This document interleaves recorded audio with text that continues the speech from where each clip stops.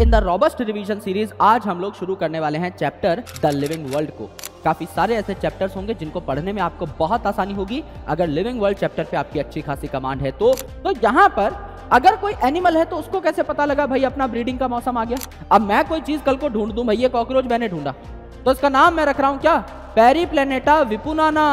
और आगे मैंने लिख दिया, विपू। तो विपू इज़ माई एब्रीवेटेड नेम। है ना? और मेरा नाम जो विपिन है, वो तो हिंदी का शब्द है। विपिन का अर्थ होता है जंगल या फिर आपका वन। तो ultimately this is a Hindi name तो इसको मैं लैटिन में कन्वर्ट थोड़ी करूँगा। रिकैप मैंने यहीं पर लिख दिया था तो समझने वाली बातें हमने समझ ली। याद हमको सिर्फ़ यही करना था। यानी कि जो दो स्लाइड्स हमने लगाई हैं, ये भी हमको लगाने की ज़रूरत नहीं है। मेन जो सार है मेन जो बात है, वो आपकी यहीं पर ऑलरेडी गिवन है इनकलकेटेड है, और ये टेबल आपको किसी किताब में मिलेगा नहीं because it is a freshly made table सारे के सारे पीवाई क्यूज ऑलरेडी नोट्स के अंदर ही इंकलकेटेड हैं तो जब भी आप नोट्स पढ़ें, जब भी आप चीज़ों को रिवाइज करें ऑलवेज मेक श्योर कि हरे पॉइंट्स पे और येलो पॉइंट्स पे आपका स्पेसिफिक ध्यान हो, बहुत साइंटिफिकली बनाए गए नोट्स हैं। है ना? हवाबाजी नहीं है टाइम पास नहीं है। बहुत अच्छे तरीके से बनाए गए हैं, जिससे आप इंपॉर्टेंट वर्ड्स पे जंप कर सकें। इसलिए उन वर्ड्स को पहले ही हाईलाइट कर दिया गया है। हेलो एवरीवन कैसे हैं आप सब लोग? I hope each and every one of you is doing absolutely good my name is doctor Vipin Kumar Sharma और मैं आप सभी लोगों का तहे दिल से स्वागत करता हूँ हमारे इस प्यारे से प्लेटफॉर्म फिजिक्स वाला के ऊपर। And in the robust revision series आज हम लोग शुरू करने वाले हैं चैप्टर द लिविंग वर्ल्ड को। ये जो चैप्टर है ये दिखने में बहुत छोटा है, लेकिन एक्चुअल में इस चैप्टर के अंदर जो भी चीज़ें आप लोग पढ़ेंगे you can directly have their practical implications यानी कि इस चैप्टर में पढ़ी हुई बातों को आप किसी भी यूनिट में अप्लाई कर सकते हैं। काफ़ी सारे ऐसे चैप्टर्स होंगे जिनको पढ़ने में आपको बहुत आसानी होगी। अगर लिविंग वर्ल्ड चैप्टर पे आपकी अच्छी खासी कमांड है तो इसीलिए हम लोग एकदम जनरल लेवल से, एकदम बेसिक लेवल से, हर बार की तरह एकदम ज़ीरो लेवल से अपने कॉन्सेप्ट को उठाना स्टार्ट करेंगे और आपको हंड्रेड पॉइंटर्स तक हंड्रेड क्लैरिटी तक लेकर के चलेंगे। ये जो चैप्टर है, इसमें आखिर में एक टॉपिक आया करता था, जिसका नाम था टेक्सोनॉमिक एड्स या टेक्सोनॉमिक टूल्स वो टॉपिक अब डिलीट कर दिया गया है एनसीईआरटी से भी और नीट के सिलेबस से भी तो उसको आपको पढ़ने की कोई ज़रूरत नहीं है। लेकिन नई एनसीईआरटी में एक और टॉपिक हटा दिया गया है, जो कि इस चैप्टर का इनिशियल टॉपिक था, जिसे हम कहते हैं व्हाट इज़ लिविंग तो वो टॉपिक आपको पढ़ना है, क्योंकि वो एनसीईआरटी से तो हटा दिया गया है, लेकिन वो आपके नीट के सिलेबस में अभी तक मेंशनड है। तो जब तक एनटीए या एनएमसी खुद आकर के नहीं कहती कि इस टॉपिक को नहीं पढ़ना है, तब तक हम इस टॉपिक का पीछा नहीं छोड़ेंगे टेक्निकली हम पिछले साल के सिलेबस के हिसाब से चल रहे हैं तो अभी तक हमारे पास कोई क्लैरिटी कोई इंडिकेशन नहीं है कि इस टॉपिक को हटाया जा रहा है सिलेबस से या फिर रखा जा रहा है तो हम पढ़ेंगे, हम सेफ़ साइड पर चलेंगे ऑलराइट?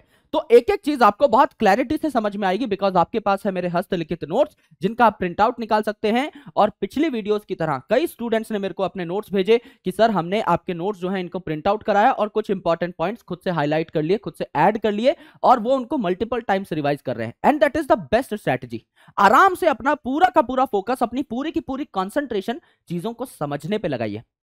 और आपके पास मेरे नोट्स हैं ही।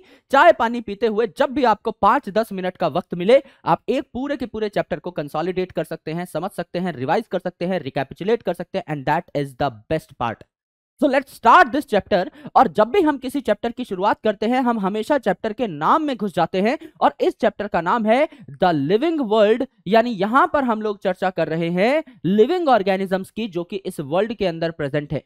यानी अगर मुझे इस चैप्टर को एक दूसरा नाम देना हो तो क्या मैं इस चैप्टर को बायोडाइवर्सिटी नाम दे सकता हूँ?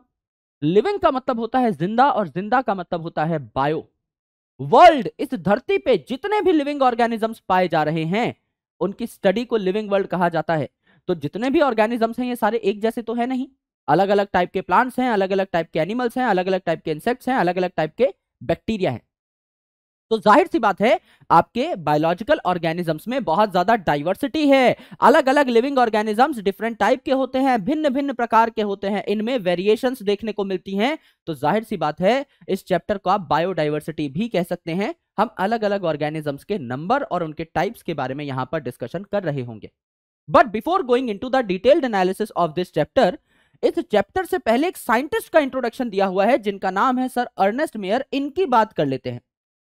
अर्नेस्ट मेयर साहब जो हैं, सौ नंबर इनके लिए बहुत इंपॉर्टेंट था। क्योंकि पहली बात तो ये 100 साल तक ज़िंदा रहे 1904 में सर का जन्म हुआ था और 2004 में इनका देहांत हुआ, यानी 100 साल की उम्र को इन्होंने क्रॉस किया। और दूसरा, दुनिया के टॉप 100 साइंटिस्ट की जब भी लिस्ट बनेगी, अर्नेस्ट मेयर साहब का नाम उन टॉप 100 साइंटिस्ट में शुमार होगा ही होगा बिकॉज़ ये बहुत ही बेहतरीन साइंटिस्ट थे। इन्होंने इवोल्यूशन पे इतना खतरनाक काम किया था कि इनको इवोल्यूशन के भगवान डार्विन साहब से कंपेयर किया जाता था और इन्हें कहा जाता था डार्विन ऑफ़ ट्वेंटी सेंचुरी क्योंकि इनका जन्म सन 1904 में हुआ था तो इनका मेन जो काम था वो 1900 से 2000 के बीच में था, यानी ट्वेंटी सेंचुरी में था। इसीलिए इनको डार्विन ऑफ़ ट्वेंटी सेंचुरी कहा गया। और इनके सम्मान में सर को टॉप थ्री प्राइजेस भी मिले in the field of biology यानी इनके सर पे एक ताज था, इनके ऊपर बायोलॉजी का ताज था, तीन सबसे ज़्यादा प्रेस्टिजियस अवार्ड्स इनको मिले हुए थे international prize for biology Crafoord prize and Balzan prize यानी कहा जाता था कि इनके पास ट्रिपल क्राउन ऑफ़ बायोलॉजी है, तीन सबसे प्रोमिनेंट अवार्ड्स हैं। सौ साल तक ये जिए थे। टॉप सौ साइंटिस्ट की जब भी लिस्ट बनेगी, उनमें इनका नाम शुमार होगा और डार्विन साहब से इनका डायरेक्ट कंपैरिजन किया जा रहा था। सबसे इंपॉर्टेंट बात जो इन्होंने कही, वो थी about biological concept of species sir biological concept of species क्या है? जब भी स्पीसीज की डेफिनेशन पूछी जाती है किसी साइंटिस्ट से तो वो अपने अपने तरीके से स्पीसीज की डेफिनेशन बताते हैं। यहाँ पर अर्नेस्ट मेयर साहब ने भी अपनी एक डेफिनेशन बताई स्पीसीज के लिए अपनी एक बात बताई, जिसको बायोलॉजिकल कंसेप्ट कहा जाता है। क्या कहा इन्होंने? इन्होंने कहा कि एक स्पीसीज के जो मेंबर्स हैं, यही आपस में ब्रीड कर सकते हैं, यही आपस में सेक्सुअल इंटरकोर्स कर सकते हैं और फर्टाइल बच्चे पैदा कर सकते हैं। अगर दो अलग अलग स्पीसीज के इंडिविजुअल्स मेट करने की कोशिश करेंगे तो बच्चा शायद पैदा हो जाए just because of the similarity लेकिन वो बच्चा फर्टाइल नहीं होगा स्टेराइल हो जाएगा। फॉर एग्ज़ाम्पल अगर एक ह्यूमन फीमेल है और एक ह्यूमन मेल है, ये अगर ब्रीड करते हैं तो क्या फर्टाइल ह्यूमन बच्चा पैदा हो जाता है? बिल्कुल हो जाता है। तो आप यहाँ प्रूव कर सकते हैं कि इनका बच्चा फर्टाइल है, यानी मेल और फीमेल जिन्होंने आपस में इंटरकोर्स किया था, ये सेम स्पीसीज के हैं। अगर एक मेल डोंकी है और एक फीमेल हॉर्स है, यानी मेल डोंकी यानी इसे जैक कहा जाता है, और फीमेल हॉर्स इसे मेयर कहा जाता है, जब जैक और मेयर आपस में इंटरकोर्स करते हैं तो क्या पैदा होता है? खच्चर पैदा होता है म्यूल पैदा होता है, और वो म्यूल आगे अपने खुद के बच्चे पैदा नहीं कर सकता, यानी अगर ये स्टेराइल है, एक भी म्यूल अगर दुनिया का अपने खुद के बच्चे पैदा नहीं कर पा रहा है तो आपको पता लग गया कि इनके माता पिता ने बायोलॉजिकल कंसेप्ट ऑफ़ स्पीसीज को डिसोबे किया है। बायोलॉजिकल कंसेप्ट ऑफ़ स्पीसीज की बात नहीं मानी है, इसीलिए इनका बच्चा क्या हो गया है? स्टेराइल हो गया है। फॉर एग्ज़ाम्पल आपका लायन है मेल और टाइग्रस है फीमेल तो इनका जब बच्चा होगा तो इसे क्या बोलेंगे? लाइगर लायन से लाई वर्ड आया और टाइगर है ना? इससे गर वर्ड आया। एंड में यानी कि फीमेल को हम लोग थोड़ा सा बाद में लिखते हैं according to Norman clutcher script तो लाइगर जो है, ये भी आपका क्या होता है? स्टेराइल होता है। तो ultimately there are a lot of things which you need to understand उसमें से सबसे ज़रूरी है आपकी बायोलॉजिकल कंसेप्ट ऑफ़ स्पीसीज कि दो इंडिविजुअल जब सेम स्पीसीज के हैं, ये जब मेट करेंगे, तभी इनका बच्चा पैदा होगा और वो स्टेराइल होगा। और वो फर्टाइल होगा सॉरी है ना? अगर स्टेराइल बच्चा है, इसका मतलब मेल और फीमेल अलग अलग स्पीसीज के होंगे। देन अभी यहाँ पर हम लोग बात करते हैं किसकी? हमारे लिविंग वर्ल्ड की विच इज़ वेरी डाइवर्स मैंने आपको बताया बायोडाइवर्सिटी शब्द डाइवर्स डिफरेंट वेरिएशन बहुत सारे अलग अलग किस्म के ऑर्गेनिजम्स अर्थ पे पाए जाते हैं। और ये एक्स्ट्रा ऑर्डिनरी हैबिटेट में भी रहते हैं। मतलब जहाँ पे आपको लगता है कि जीवन संभव है, वहाँ पर तो लोग रह ही रहे हैं। जैसे रेगिस्तान में जो है, लोग नहीं रहते बहुत कॉमनली लेकिन फिर भी वहाँ पर लिविंग ऑर्गेनिजम्स देखने को मिलते हैं। आपका बर्फ़ की पट्टियों के नीचे हमें लगता है कि कोई नहीं रह रहा होगा, लेकिन वहाँ पर आर्की बैक्टीरिया रह रहे होते हैं। थर्मल स्प्रिंग्स आपका गीजर से भी ज़्यादा टेम्परेचर का वाटर जहाँ पर पाया जाता है, वहाँ पर भी आर्की बैक्टीरिया रह रहे होते हैं। इन्हें क्या कहा जाता है? एक्सट्रीमोफाइल्स कहा जाता है। एक्सट्रीमो यानी एक्सट्रीम कंडीशंस हार्श कंडीशंस और फ़ाइल यानी लविंग यानी पसंद करना। ऐसे इंडिविजुअल्स जो कि एक्सट्रीम कंडीशंस को पसंद करते हैं, उन्हें एक्सट्रीमो फाइल्स कहा जाता है, जिसका सबसे कॉमन एग्जांपल है खतरों के खिलाड़ी, यानी हमारे आर्की बैक्टीरिया तो नॉर्मल जगहों पर तो ज़िंदगी मिलेगी ही, मैदान में ज़िंदगी मिलेगी ही, जंगल में ज़िंदगी मिलेगी ही, नदी के आसपास ज़िंदगी मिलेगी ही। लेकिन मेरे दोस्त, ऐसे इलाके जहाँ आपको लगता है कि जीवन संभव ही नहीं है, वहाँ पर भी आपको जीवन देखने को मिल सकता है आर्की बैक्टीरिया वहाँ पर भी पाए जा सकते हैं। और ये जो ऑर्गेनिजम्स हैं, ये आपस में अलग अलग तरीके की रिलेशनशिप्स भी शो करते हैं, इन्हें हम कहते हैं ecological conflict and cooperation. Sir, cooperation क्या होता है? आपको पता है, कॉपरेट करना मतलब सहयोग करना, एक दूसरे की मदद करना। समझ लीजिए आपके पड़ोसी के घर पे चीनी खत्म हो गई और वो आपके घर पे आकर दरवाज़ा खटखटाते हैं कि बहन जी, थोड़ी चीनी मिलेगी और आपकी मम्मी थोड़ी सी चीनी दे देती है।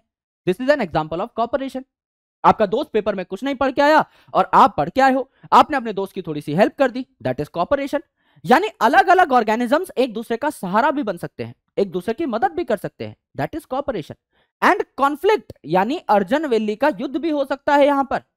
कॉन्फ्लिक्ट मतलब मारधाड़, जैसे कि शेर और हिरन के बीच में क्या रिलेशनशिप है? कॉन्फ्लिक्ट है। हिरन अपनी जान बचाने के लिए भाग रहा है और शेर उसकी जान लेने के लिए भाग रहा है। कॉन्फ्लिक्ट है, जैसे हिरन हाथ में आया शेर फाड़ डालेगा। दिस इज़ कॉन्फ्लिक्ट लेकिन कई ऑर्गेनिजम्स ऐसे हैं जो एक दूसरे के साथ कॉपरेट भी करते हैं। So this nature is so diverse कि यहाँ पे अलग अलग प्रकार की रिलेशनशिप्स हमें देखने को मिलती हैं। तो यहाँ पर अलग अलग फीचर्स होते हैं एक लिविंग ऑर्गेनिज्म के और ये बात एनसीआरटी में नहीं है but this is very very important from examination point of view क्योंकि यहाँ से पीवाई क्यूज पूछे जाते हैं। आराम से देखिएगा।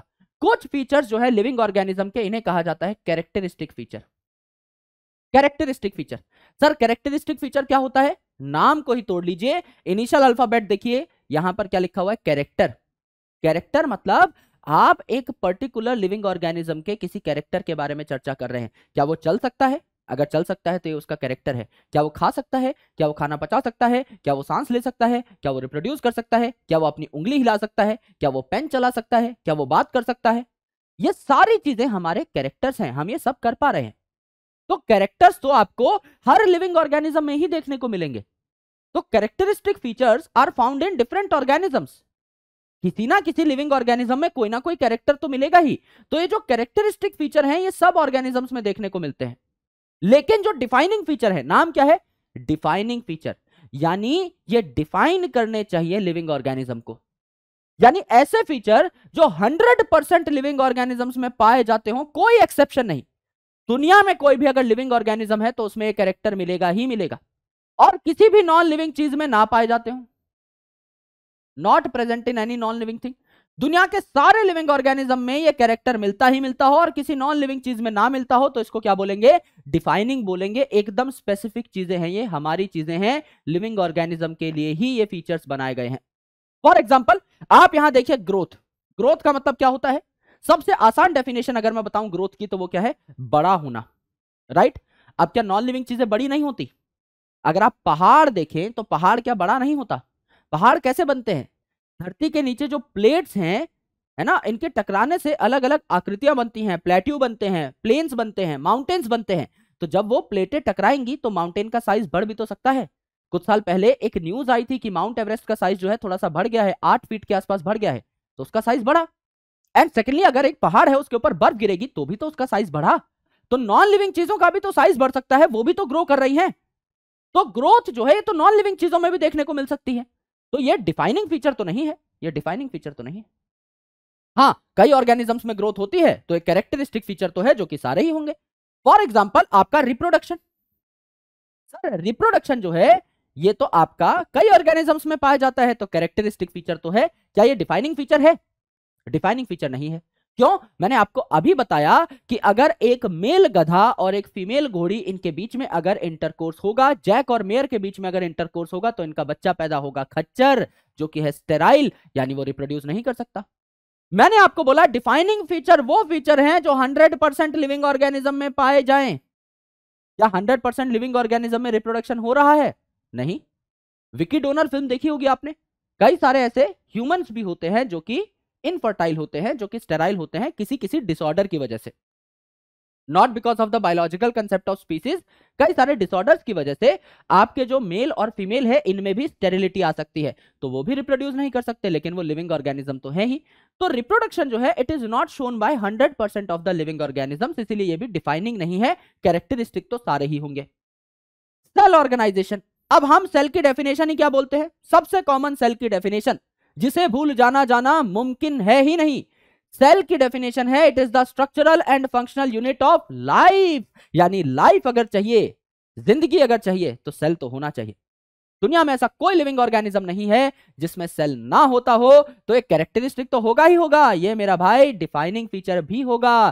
दुनिया के हर लिविंग ऑर्गेनिज्म में सेल होगा, और किसी भी नॉन लिविंग चीज़ में सेल नहीं होगा। तो cellular organisation is a defining feature अगला देखिए मेटाबॉलिज्म मेटाबॉलिज्म यानी आपकी बॉडी में होने वाले रिएक्शन तो सेल जो है, इसके अंदर साइटोप्लाज्म पाया जाता है which is the main arena of cellular activities मैंने आपको लेक्चर नंबर वन में बताया था. तो जब आप सेल की बात करते हैं तो आप उसके अंदर होने वाले रिएक्शंस की भी बात कर रहे होते हैं. डेड सेल का कोई वजूद नहीं है. अगर सेल ज़िंदा है तो वो मेटाबॉलिक रिएक्शंस की वजह से ज़िंदा है. तो अगर सेल एक डिफाइनिंग फीचर है तो मेटाबॉलिज्म भी एक डिफाइनिंग फीचर होगा, इसके बिना काम नहीं चलेगा. तो एक कैरेक्टरिस्टिक तो होगा ही होगा डिफाइनिंग भी होगा। Self consciousness self consciousness self consciousness मतलब सेल्फ अवेयरनेस ये जो प्रॉपर्टी है, ये ऑक्टोपस की कुछ स्पीसीज में देखने को मिलती है और ह्यूमंस में देखने को मिलती है तो ये दुनिया के हर ऑर्गेनिज्म में नहीं है तो it is not a defining feature लेकिन कॉन्शियसनेस अपने आसपास के एनवायरमेंट को सेंस करना कि एनवायरमेंट में क्या चेंजेस आ रहे हैं, और उस हिसाब से रिस्पॉन्ड करना खतरों से बचने की कोशिश करना ये हर कोई करता है। एक बैक्टीरिया जो हमें बहुत सिंपल दिखाई देता है, एक यूनिसेलुलर ऑर्गेनिज्म है, वो भी वायरस से बचने की कोशिश करता है। वो भी अपनी वॉल को नॉन परमिएबल बनाने की कोशिश करता है कि वायरस की एंट्री को रोक लिया जाए। वो अलग बात है कि वायरस कुछ ना कुछ करके घुस ही जाएगा, लेकिन उस बैक्टीरिया को आइडिया लग जाता है कि हाँ भाई, कोई ना कोई पैथोजन यहाँ पर आने वाला है वायरस यहाँ पर आने वाला है बैंड बजाने वाला है। तो हर एक ऑर्गेनिज्म एक छोटी सी चीटी से लेकर एक बहुत बड़ी ब्लू वेल तक, एक छोटे से एल्गी से लेकर एक बहुत बड़े एंजियोस्पर्म तक, एक प्रो कैरियोट से लेकर दुनिया के सबसे कॉम्प्लेक्स यू तक कॉन्शियसनेस दिखाते हैं। या अपने आसपास के एनवायरमेंट को सेंस कर सकते हैं और उसी हिसाब से रिस्पॉन्ड भी कर सकते हैं। तो consciousness metabolism and cellular organisation ये डिफाइनिंग फीचर हैं। और growth reproduction and self consciousness ये डिफाइनिंग फीचर नहीं है, ये सिर्फ़ कैरेक्टरिस्टिक फीचर हैं, ये सारी बातें हमने बढ़िया तरीके से देखी, सारी बातें आपको मैंने यहाँ पर समझाई तो आपको इस टेबल से पूरा पूरा आइडिया लग जाना चाहिए कि हम क्या क्या बातें कर रहे हैं बट स्टिल मैं आपको एक और बार समझा देता हूँ सारी की सारी चीज़ें वन बाय वन सबसे पहले चर्चा करते हैं ग्रोथ की। तो ग्रोथ जो है ये दो तरीके से हो सकती है, इसके ट्विन कैरेक्टर्स हैं। पहला, अगर आपका वज़न बढ़ रहा है, आपका मास बढ़ रहा है तो आप ग्रो किए। है ना? और दूसरा increase in number of individuals अगर हो रहा है तो भी आप ग्रो किए। फॉर एग्ज़ाम्पल एक बैक्टीरिया है, उसने डिवीज़न किया तो कितने बैक्टीरिया हो गए? दो बैक्टीरिया हो गए। दो डॉटर बैक्टीरिया ने बड़े होकर डिवीज़न किया तो कितने बैक्टीरिया हो गए? चार बैक्टीरिया हो गए। तो क्या ये ग्रोथ है? भाई नंबर बढ़ रहा है तो ग्रोथ है। आप जब पैदा हुए थे तो क्या थे? बहुत छोटे से, एक एनिमल थे, लेकिन बड़े होते गए। अब इतने बड़े हो चुके हो तो आपका मास जब आप पैदा हुए थे, उस कंपैरिजन में बढ़ा है। सर, हम तो वेट लॉस कर लेते हैं, सर, मैंने तो एक महीने में दो के कम किया है। मेरे भाई जब पैदा हुए थे, तब से तो मास बढ़ा ही है ना, तब से तो ग्रो ही किए हो ना right so that's why increase in mass and increase in number of individuals are twin characteristics of growth तो अगर आप किसी यूनिसेलुलर ऑर्गेनिज्म की बात करते हो तो इसमें ग्रोथ सेल डिवीज़न और रिप्रोडक्शन एक ही चीज़ है। इन्हें कहा जाता है इंक्लूसिव इवेंट्स कैसे? अगर एक सेल है लेट से एक बैक्टीरिया है, ये डिवाइड कर गया फुचुक करके दो बैक्टीरिया बन गए। तो क्या ये सेल डिवीज़न है? एक बैक्टीरिया ने दो डॉटर सेल्स बना ये सेल डिवीज़न है, एक सेल से दो सेल बनना सेल डिवीज़न ये जो बैक्टीरिया है पेरेंट बैक्टीरिया इसने दो डॉटर बैक्टीरिया बनाए। इस पर्सपेक्टिव से देखो तो ये रिप्रोडक्शन भी है कि एक बैक्टीरिया था, इसने बाइनरी फिजन से दो डॉटर बैक्टीरिया बनाए तो it is binary fission also it is reproduction also और नंबर बढ़ रहा है मेरे भाई, इसका मतलब ज़ाहिर सी बात है कि ये आपका ग्रोथ भी तो है। तो ग्रोथ रिप्रोडक्शन और सेल डिविजन तीनों सेम ही तो चीज़ हो गई, जब आप यूनिसेलुलर ऑर्गेनिज्म की बात करते हैं। मल्टी सेल्यूलर में ऐसा नहीं है। दे आर एक्सक्लूसिव इवेंट्स अगर समझ लीजिए, मैं साइकिल चला रहा हूँ और मैं साइकिल चलाते चलाते गटर में गिर गया। मेरी कोहनी पे चोट लग गई, सर पे चोट लग गई। तो सर और कोहनी पे अगर चोट लगी है तो मेरे सेल्स डिवाइड करना स्टार्ट कर देंगे मेरी चोट को भरने के लिए। लेकिन क्या उस टाइम पर मैं रिप्रोड्यूस कर रहा हूँ?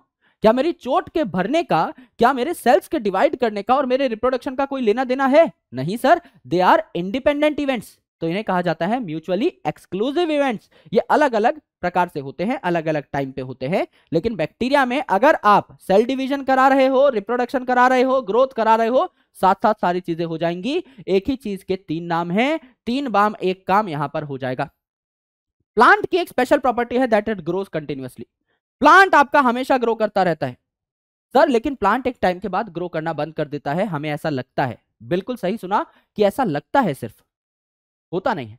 भाई, अगर एक पचास फीट का प्लांट है और वो एक सेंटीमीटर बढ़ रहा है एक साल में तो आप उसको ट्रैक नहीं कर पाओगे सिर्फ़ देख के। और आप रेगुलर मॉनिटरिंग तो कर नहीं रहे कि एक पेड़ कितना बढ़ रहा है।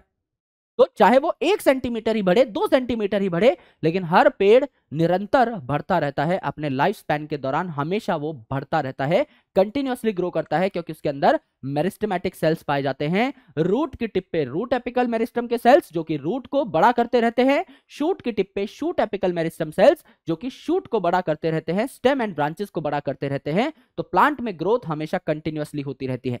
लेकिन आपकी हाइट एनिमल्स का साइज़ एक टाइम के बाद बढ़ना बंद हो जाता है। हमारी बॉडी के कुछ ही सेल्स अपने आप को रेप्लीकेट करते रहते हैं डिवाइड करते रहते हैं, पूरी बॉडी एक टाइम के बाद बढ़ना बंद हो जाती है। जैसे आरबीसी जो है, इनका लाइफ स्पैन कितना है? 120 दिन का, यानी चार महीने का तो चार महीने बाद नई आरबीसी चाहिए तो अल्टीमेटली आपको आरबीसी बनाते रहना पड़ेगा। आपके पेट की जो लाइनिंग है स्टमक की लाइनिंग ये भी आपके पेट में मौजूद एसिड की वजह से जल जाती है एक्सकोरिएट हो जाती है। तो वहाँ पर भी नए नए सेल्स को बनना पड़ेगा तो एक हफ़्ते में दो बार आपकी ये लाइनिंग भी क्या हो जाती है? दोबारा से नई बन जाती है। आपको कहीं चोट लग गई तो आपके नए नए सेल्स तैयार होंगे। यानी आपकी बॉडी में अलग अलग जगह पर सेल्स बन रहे हैं। आपकी बॉडी में रिपेयर हो रहा है। लेकिन आपकी बॉडी जो है वो फर्दर ग्रो नहीं कर रही एक टाइम के बाद ग्रोथ हॉल्ट हो जाती है। Up to a certain age आपकी ग्रोथ हॉल्ट हो जाती है। नॉन लिविंग चीज़ें जो है, जैसे कि आपका पहाड़, इसका साइज़ भी बढ़ सकता है। आपका बोल्डर या सैंड ड्यून है, रेत के टीले के ऊपर और रेत आकर के जमा हो गई, कहीं से रेत उड़ के आ गई तो उसका साइज़ भी बढ़ जाएगा। तो नॉन लिविंग चीज़ें भी, क्योंकि आपकी ग्रो कर सकती हैं, इसीलिए इसको डिफाइनिंग फीचर नहीं माना गया। करेक्ट अगला देखिए रिप्रोडक्शन रिप्रोडक्शन में रीवर्ड का मतलब है री का मतलब क्या होता है? अगेन रीअपियर वो रीअपियर हुआ। मतलब दोबारा है ना? री का मतलब है दोबारा। प्रोडक्शन का मतलब टू प्रोड्यूस यानी बार बार बार बार बार बार बार बार नए ऑर्गेनिजम्स बनाते रहना which can be similar to yourself यानी अगर ह्यूमन बींग्स हैं, वो अगर रिप्रोड्यूस करेंगे तो बच्चा भी ह्यूमन बींग होगा। Yes so it is similar to their parent and थोड़ा सा डिफरेंट भी होगा। अब मम्मी पापा से एग्जैक्टली exactly तो शक्ल मिलती नहीं है बच्चे की। वेरिएशन आ रही हैं। क्योंकि मम्मी पापा के जो गैमेट्स हैं, ये फ्यूज हुए हैं। तो दोनों के कैरेक्टर्स मिक्स हुए हैं, तब जाके बच्चा बना है। तो हंड्रेड परसेंट मम्मी जैसा नहीं दिखता हंड्रेड परसेंट पापा जैसा नहीं दिखता, कुछ वेरिएशन आती हैं तो आपके यहाँ पर बच्चे पैदा हो जाते हैं। फॉर एग्ज़ाम्पल फंगस जो है, अगले लेसन में और डिटेल में हम लोग फंगस की डिस्कशन करेंगे बायोलॉजिकल क्लासिफिकेशन चैप्टर में। तो ये बहुत सारे असेक्सुअल स्पोर्स बनाते हैं और इनसे आसानी से रिप्रोड्यूस कर सकते हैं। जैसे कि एप्लेनोस्पोर है, आपका जू स्पोर है कोनिडियोस्पोर है तो ये कई सारे असेक्सुअल स्पोर्स हैं। सेक्सुअल स्पोर्स भी बहुत सारे हैं, जैसे जाइगोस्पोर है ऊस्पोर है एस्कोस्पोर है बेसिडियोस्पोर है, इन सब स्पोर्स के बारे में हम लोग चर्चा करेंगे। ये आपका कौन बनाता है? फंगस बनाता है तो फंगस स्पोर्स के थ्रू क्या कर सकता है? आपका रिप्रोड्यूस कर सकता है। प्लेनेरिया या फ्लैटवॉर्म, इसके बारे में आपने सुना होगा। यह ट्रू रीजनरेशन दिखाता है, यानी एक प्लेनेरिया के अगर आपने तीन टुकड़े कर दिए तो तीनों टुकड़े ये काबिलियत रखते हैं कि वो आपका दोबारा से जर्मिनेट हो जाए एंड अल्टीमेटली एक तरीके से पूरे के पूरे प्लेनेरिया को वो बना सके। तो ये फ्लैट वॉर्म में, यानी प्लेटी हेलमेंट्स में देखने को मिलता है। फंगस फिलामेंटस एल्गी है ना? फंगस भी फिलामेंटस होते हैं ज़्यादातर और एल्गी फिलामेंटस जिनमें छोटे छोटे फ्रेगमेंट हैं और प्रोटोनेमा ऑफ़ मोसिस ये भी आपका क्या होता है? फिलामेंटस होता है। इसमें भी छोटे छोटे फ्रेगमेंट होते हैं। तो फ्रेगमेंट होंगे तो ये क्या शो करेंगे? फ्रेगमेंटेशन इनका एक एक फ्रेगमेंट जो है, आपका नया फंगस या नया एल्गी या नया मॉस बना सकता है। बैक्टीरिया और अमीबा यूनिसेलुलर है। यूनिसेलुलर होंगे तो सीधा दो टुकड़ों में टूट जाएँगे, आपका बाइनरी फिजन शो करेंगे। और स्टेराइल वर्कर बीज भैया, जो आपकी बीज होती हैं, जो आपकी मक्खियाँ होती हैं, वहाँ पर मेल्स को कहा जाता है ड्रोन और फीमेल दो प्रकार की होती हैं। एक रानी मक्खी और एक वर्कर मक्खी। वर्कर मक्खी जो छत्ते की साफ़ सफ़ाई करती हैं और रानी की देखभाल करती हैं और रानी मक्खी इकलौती ऐसी फीमेल मक्खी है जो रिप्रोड्यूस करती है। यानी बाकी जो वर्कर बीज है, इनके पास रिप्रोडक्शन का अधिकार नहीं है, यानी कि सिर्फ़ मेल रिप्रोड्यूस करते हैं और फीमेल्स में रानी मक्खी रिप्रोड्यूस करती है। म्यूल यानी खच्चर, जो आपका बायोलॉजिकल कंसेप्ट ऑफ़ स्पीसीज को डिसोबे करने से बना था मेल डोंकी और फीमेल हॉर्स की मीटिंग से बना था यह भी आपका इनफर्टाइल था और infertile human couples they do not reproduce अगर ये सारे रिप्रोड्यूस नहीं कर रहे हैं, यानी कि 100 परसेंट लिविंग ऑर्गेनिजम्स रिप्रोड्यूस नहीं कर सकते, यानी रिप्रोडक्शन भी एक डिफाइनिंग फीचर नहीं कहा जा सकता। तीसरी इंपॉर्टेंट चीज़ है मेटाबॉलिज्म मेटाबॉलिज्म मतलब sum total of all chemical reactions occurring inside the body of an organism किसी भी ऑर्गेनिज्म की बॉडी में, चाहे बैक्टीरिया हो, चाहे हमारी इतनी कॉम्प्लेक्स बॉडी हो, हज़ारों केमिकल्स हमारी बॉडी के अंदर प्रेजेंट हैं, वो एक दूसरे में कन्वर्ट हो रहे हैं। इन इंटर कन्वर्टिंग रिएक्शंस को हम लोग मेटाबॉलिक रिएक्शंस कहते हैं। छोटे छोटे मॉलिक्यूल्स मिलकर बड़े बड़े मॉलिक्यूल्स बना सकते हैं, जिसे एनाबॉलिज्म कहा जाता है, और बड़े बड़े मॉलिक्यूल टूट करके, कट करके आपके छोटे मॉलिक्यूल्स बना सकते हैं। काटा हो रहा है यहाँ पर आपका मॉलिक्यूल्स का तो इसे काटाबॉलिज्म कहा जाता है।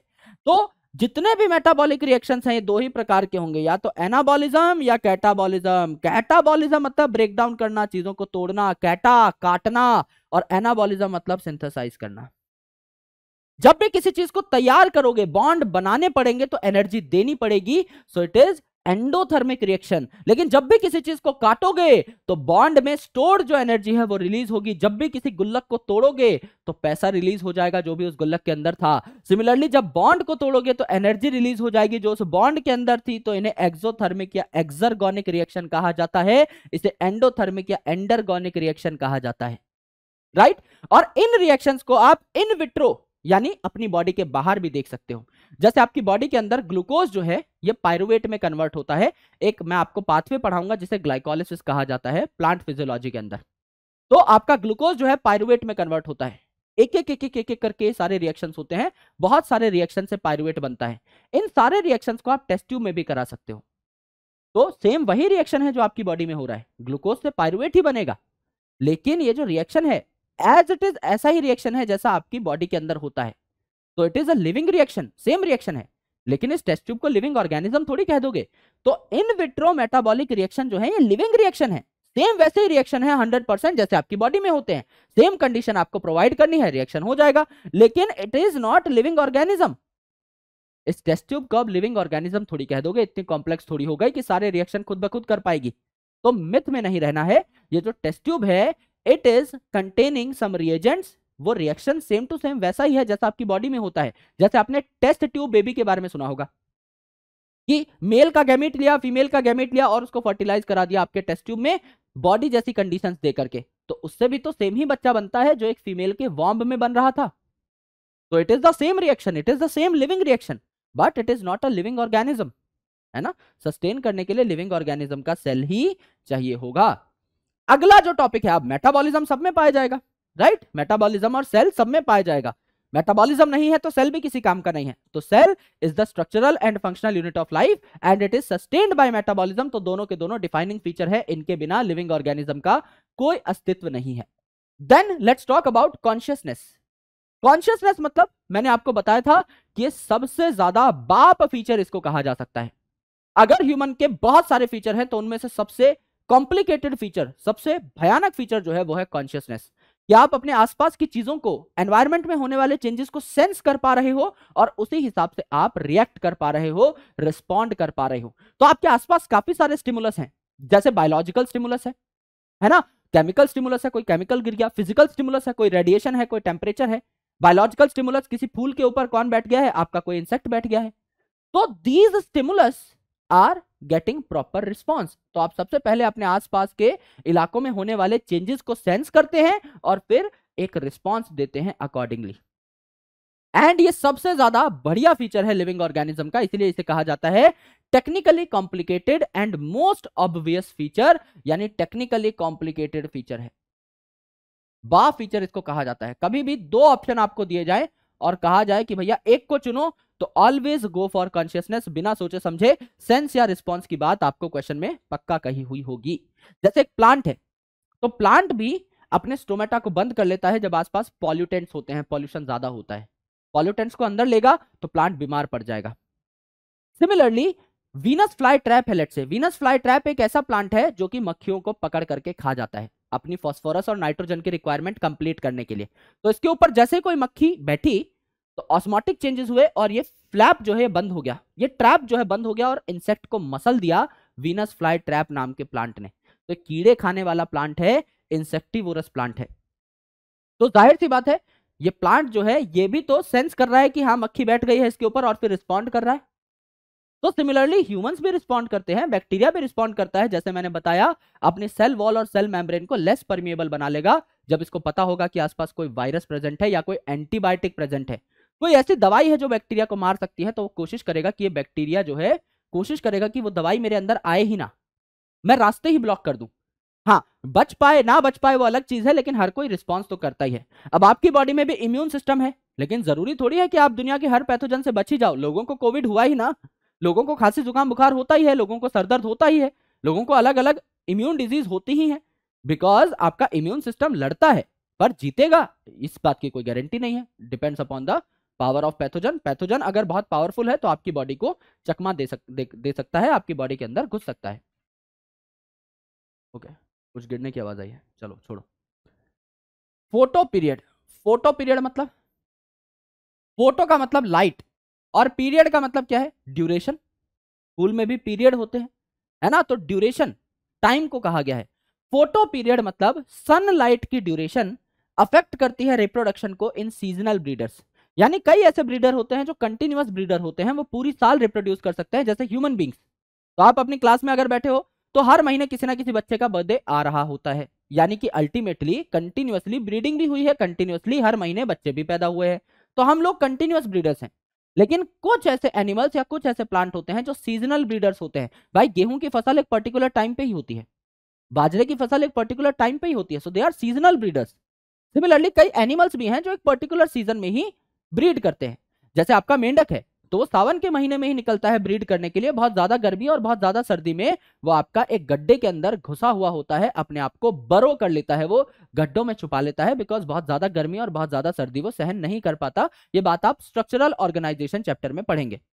तो यहाँ पर अगर कोई एनिमल है तो उसको कैसे पता लगा, भाई, अपना ब्रीडिंग का मौसम आ गया? अगर कंटिन्यूसली दिन की लेंथ छोटी हो रही है सनलाइट आपकी कंटिन्यूसली कम कम कम कम कम आ रही है, इसका मतलब सर्दियाँ आ गई है तो सर्दी में ब्रीड करने वाला एनिमल बाहर आ जाएगा। सिमिलरली अगर लगातार सनलाइट की ड्यूरेशन बढ़ रही है, बढ़ बढ़ बढ़ बढ़ बढ़ रही है तो आपको पता लग जाएगा कि हाँ भैया, गर्मियाँ आ चुकी हैं। एक आधे दिन ज़्यादा गर्मी पड़ सकती है ओकेजनली एक आधे दिन ज़्यादा सर्दी पड़ सकती है ओकेजनली लेकिन लगातार टेम्परेचर बढ़ना या घटना, इस बात का इंडिकेशन है कि गर्मी या सर्दी आ चुकी है। सिमिलरली प्लांट जो है, ये भी सनलाइट की ड्यूरेशन को चेक कर सकते हैं। इनकी लीव्स में ये फेनोमेना है कि पता लगा सकें कि सनलाइट की ड्यूरेशन कितने टाइम के लिए इन पर गिर रही है। तो कई ऐसे प्लांट जिनको बहुत ज़्यादा सनलाइट की ड्यूरेशन की आवश्यकता होती है, उन्हें लॉन्ग डे प्लांट कहा जाता है। जब बहुत ज़्यादा ड्यूरेशन होगी सनलाइट की, तभी इनमें फ्लावरिंग होगी, तभी इनमें फूल खिलेगा और फूल इज़ द रिप्रोडक्टिव ऑर्गन तभी रिप्रोडक्शन होगी। अगर शॉर्ट डे प्लांट है कोई तो बहुत कम सनलाइट की ड्यूरेशन में ही उसमें फूल खिलेगा और तभी उसमें रिप्रोडक्शन होगी। और डे न्यूट्रल प्लांट है तो उसको कोई फ़र्क नहीं पड़ता, वो हर मौसम में फूल खिला लेगा और वो कंटिन्यूसली ब्रीड कर पाएगा। तो सीजनल ब्रीडर जो हैं, ये लाइट की ड्यूरेशन से ही पता लगाते हैं कि इनका ब्रीडिंग का मौसम आया है या नहीं। अब सेल्फ कॉन्शियसनेस मैंने आपको बताया था, सिर्फ़ और सिर्फ़ ह्यूमंस में ही पाया जाता है। तो सेल्फ कॉन्शियसनेस एक डिफाइनिंग फीचर नहीं है, क्योंकि सारे ऑर्गेनिजम्स में नहीं पाया जाता, सिर्फ़ ह्यूमंस में और कुछ एक स्पीसीज ऑफ़ ऑक्टोपस में ये पाया जाता है। पेशेंट जो है आपके कॉमा में, इनको एक स्पेशल टर्म दी जाती है कॉल्ड ब्रेन डेड क्योंकि अगर कोई पेशेंट कॉमा में है तो वो ज़िंदा तो है, क्योंकि he can come back to life any time तो वो ज़िंदा तो है, लेकिन उसकी सेल्फ कॉन्शियसनेस अब काम नहीं कर रही है। He is not aware of himself तो इस पर्टिकुलर केस को हम ब्रेन डेड केस कहते हैं। यानी ऑर्गेनिज्म यहाँ पे ज़िंदा है, कोई पूछे लिविंग है या नॉन लिविंग तो आपका patient in coma is living जब तक उसको बायोलॉजिकली डेड डिक्लेयर नहीं कर दिया जाता, तब तक उसके लाइफ में वापस आने के चांसेस हमेशा बने रहते हैं। तो ही इज़ ऑब्वियसली लिविंग लेकिन उनकी सेल्फ कॉन्शियसनेस काम नहीं कर रही है तो एक अलग से टर्म दे दी है यहाँ पर कॉल्ड एज ब्रेन डेड अगली जो चीज़ है, वो है कि दुनिया में जितने भी लिविंग फेनोमेना होते हैं they are due to underlying interaction underlying interaction क्या होते हैं सर इंटरेक्शंस मतलब इंटरेक्ट करना, एक दूसरे से मेलजोल करना और अंडरलाइंग मतलब नीचे लेवल पे। तो नीचे लेवल पे जब भी कोई इंटरेक्शंस होंगे तो एक नई हाई लेवल की चीज़ बनाएँगे, यानी इमर्जिंग चीज़ बनाएँगे इमरजेंस शो करेंगे। ये क्या बात हुई सर अगर आपके सेल्स हैं, ये आपस में इंटरेक्ट कर रहे हैं तो एक टिश्यू बनाएँगे और tissue is going to be more powerful than these cells in cells में कुछ ऐसी प्रॉपर्टीज़ थी जो नहीं थी, जो अब टिश्यूज के अंदर है। फिर टिश्यूज इंटरेक्ट करेंगे तो ऑर्गन्स बनाएँगे और ऑर्गन्स में कुछ ऐसी क्षमताएँ होंगी जो टिश्यूज में थी ही नहीं। फिर ऑर्गन्स इंटरेक्ट करेंगे तो ऑर्गन सिस्टम्स बनाएँगे ऑर्गन सिस्टम्स में कुछ ऐसी चीज़ें होंगी जो ऑर्गन्स में नहीं थी। यानी जब भी लोअर लेवल पे इंटरेक्शन होती है तो हायर लेवल पे कोई ऐसी चीज़ बनती है which is more emergent which is more advance और ऐसी चीज़ें हमेशा होती रहती हैं लिविंग सिस्टम के अंदर। यानी आपके जो सेल्स है, वो बेसिकली टिश्यूज बनाएँगे तो tissue are more advance as compare to cell organ are more advanced as compared to tissue. Organ system is more advanced as compared to organ. Organism is more advanced as compared to organ system. Right right? तो ऐसे higher level पे आपकी emergence बढ़ती रहती है, चीज़ें advance level पे जाती रहती हैं। तो लिविंग ऑर्गेनिज्म की डेफिनेशन एनसीईआरटी में क्या कही गई है? ये आप देख लीजिए। Living organisms are self replicating यानी अपने आप को रेप्लीकेट कर सकते हैं, अपने डीएनए को रेप्लीकेट कर सकते हैं, खुद रिप्रोड्यूस कर सकते हैं, एकदम सही बात है। इवॉल्विंग सेक्सुअली रिप्रोड्यूस करेंगे तो इवॉल्व भी होंगे टाइम के साथ बेहतर होते जाएँगे टाइम के साथ अपने अंदर वेरिएशन लाते जाएँगे सेल्फ रेगुलेटिंग अपने आप को रेगुलेट भी कर सकते हैं। हम पहले एक जाइगोट थे, सिर्फ़ एक सिंगल सेल थे, और उससे हमारी बॉडी इतनी कॉम्प्लेक्स बन गई। तो हमने अपने आप को रेगुलेट किया ना, हमारे जाइगोट को एग्जैक्टली exactly ये पता था कि मेरे हाथ कहाँ से निकलेंगे, मेरे पैर कहाँ से निकलेंगे, मेरे सारे ऑर्गन्स मेरी बॉडी में किस किस पोजीशन पे प्रेजेंट होंगे, ये मेरे जाइगोट को पहले से पता था तो हम रेगुलेशन में भी बहुत अच्छे हैं। इंटरेक्टिव सिस्टम्स हम लोग इंटरेक्ट भी कर सकते हैं, हमारे ऑर्गन्स भी आपस में इंटरेक्ट कर सकते हैं बॉडी के अंदर भी एक पूरा का पूरा इंटरेक्टिव सिस्टम है और हम भी बाहर के ऑर्गेनिज्म से इंटरेक्ट कर सकते हैं। Capable of responding to external stimulus यानी बाप फीचर का नाम यहाँ पर आ गया कॉन्शियसनेस का नाम यहाँ पर आ गया। एक्सटर्नल स्टिमुलस के लिए हम लोग रिस्पॉन्स दे सकते हैं, यानी हम लोग कॉन्शियस भी होते हैं, ये बातें एकदम करेक्ट है। फिर एनसीआरटी में एक बात लिखी हुई है कि all living organisms are connected to each other and they are sharing some similarities दुनिया में जितने भी ऑर्गेनिज्म है, चाहे वो बैक्टीरिया हो, चाहे वो आपका प्रोटोजोवन हो, चाहे वो प्लांट हो, चाहे वो एनिमल हो, चाहे वो ब्लू ग्रीन एल्गी हो, सब के सब कहीं ना कहीं कनेक्टेड हैं। क्यों? क्योंकि सबके अंदर जेनेटिक मटेरियल क्या है? डीएनए और डीएनए दुनिया में पहले एक ऑर्गेनिज्म बना होगा, उसने हम सबको बनाया होगा। तो हम कहीं ना कहीं उस एक ऑर्गेनिज्म के ही तो बच्चे हैं तो चाहे हम बैक्टीरिया से एक परसेंट ही सिमिलर क्यों ना हो, पर कुछ तो सिमिलरिटी होगी। चाहे हम प्लांट से तीस परसेंट ही सिमिलर क्यों ना हो, कुछ तो सिमिलरिटी होगी। चाहे हम बंदर से नाइन्टी फाइव परसेंट सिमिलर ही क्यों ना हो, कुछ तो सिमिलरिटी होगी। तो ज़ाहिर सी बात है, हम दुनिया के हर ऑर्गेनिज्म से कुछ ना कुछ सिमिलैरिटी ज़रूर शो करते हैं। वो ज़्यादा भी हो सकती है सिमिलैरिटी वो कम भी हो सकती है। दैट ट्रूली डिपेंड्स अपॉन कि हमारा जेनेटिक मटेरियल हमारा डीएनए उस ऑर्गेनिज्म के डीएनए से कितना परसेंट सिमिलर है? तो आप अलग अलग बायो इन्फॉर्मेटिक टूल्स के माध्यम से अपने डीएनए को किसी और ऑर्गेनिज्म के डीएनए से कंपेयर भी कर सकते हैं, क्योंकि मैनुअली इसको कंपेयर करना इम्पॉसिबल है। आपका डीएनए इतना बड़ा है, आपके डीएनए में एक सेल अगर आप अपना निकाल लें तो उसमें पता है कितना लंबा डीएनए है? 2.2 मीटर्स लंबा डीएनए है। दो मीटर से भी ज़्यादा लंबा डीएनए है और नाइट्रोजनस बेसिस यहाँ पर कितने हैं? 3.3 point three into ten raise to the power nine तीन बिलियन तीन अरब तो ज़ाहिर सी बात है, इनको काउंट करना या कंपेयर करना इज़ इम्पॉसिबल तो अलग अलग कंप्यूटेशनल टूल्स हैं कंप्यूटर में ऐसे सॉफ्टवेयर हैं, जैसे आपको अपने डीएनए को चूहे के डीएनए से कंपेयर करना है तो आप अपना डीएनए का सीक्वेंस चूहे के डीएनए का सीक्वेंस डाल दीजिए इस पर्टिकुलर टूल में, आपको एक्जैक्टली बता देगा कि भैया 81 परसेंट सिमिलैरिटी है। तो हम दुनिया के हर ऑर्गेनिज्म से कुछ ना कुछ सिमिलैरिटी तो शो करेंगे, चाहे एक परसेंट ही क्यों ना करें, लेकिन करेंगे ज़रूर, ये बात बहुत इंपॉर्टेंट है। अगली जो चीज़ है यह है डाइवर्सिटी यानी यहाँ पर लिविंग ऑर्गेनिज्म के सारे कैरेक्टर्स के बारे में हमने समझा। एंड ओवरऑल रिकैप मैंने यहीं पर लिख दिया था तो समझने वाली बातें हमने समझ ली। याद हमको सिर्फ़ यही करना था। यानी कि जो दो स्लाइड्स हमने लगाई हैं, ये भी हमको लगाने की ज़रूरत नहीं है।